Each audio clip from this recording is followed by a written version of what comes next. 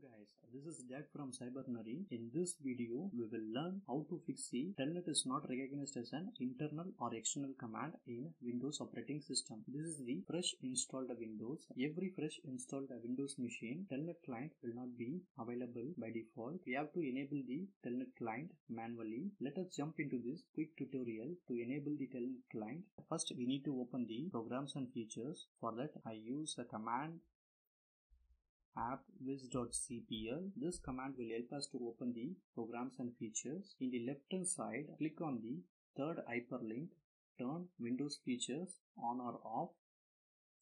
It will navigate to the programs and features. Here, search for Telnet client, check the Telnet client checkbox and press the OK button. Telnet client will install in less than a minute. Installation has been completed. I'm just closing this window. To verify that, I type telnet on the command prompt to make sure telnet is enabled. Yes, command prompt recognize the command telnet.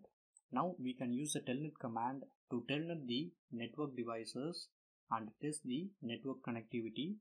I hope this video is informative for you. If you have any questions or comment, please drop a comment on the comment section.